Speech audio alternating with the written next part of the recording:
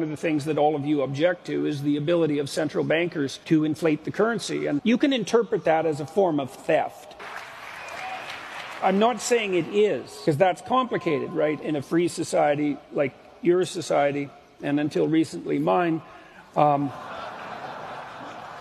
yeah, I wish that was funny. The people who are managing the monetary supply are elected, and that means that we do have control over the process, or at least as much control as any of us have over any political processes, and we're going to take that away. Now, the, the argument is that, well, we should take that away because money's a ledger. It's a way of tracking the exchange of value between individuals, and it isn't obvious that once you and I enter into a contract of value, that a third party should be able to alter the means by which we track that exchange exchange for their purposes, whatever those purposes are. Again, I think that's a rational argument, but that doesn't mean it's right.